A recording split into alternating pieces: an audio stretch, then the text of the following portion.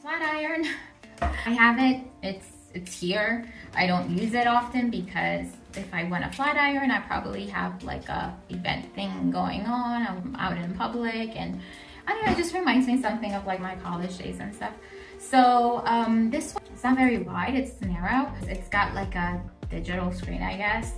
It's got only three buttons, the power button, the plus and the minus.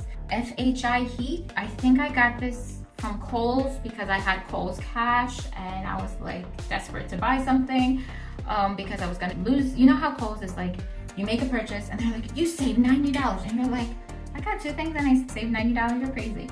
They were overpriced to begin with. And then they give you like Kohl's cash. They're like, oh, if you come in by next Friday, here's $15 to use on anything. You can use it on socks. You can use it on straighteners. You can use it on bed sheets. So I use it on a straightener. Um, super long cord.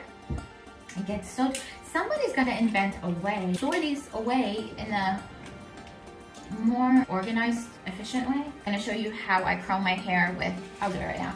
So I curl my hair with this. The way I curl my hair is I go like this, and then I flip, and I go down, and then I flip, and I go down, and it does this like little, with heat, but um, it does this like little curly thing. And then I'll let it sit, and then I take my fingers, and I have curls. So I'm gonna show you one day how I do them.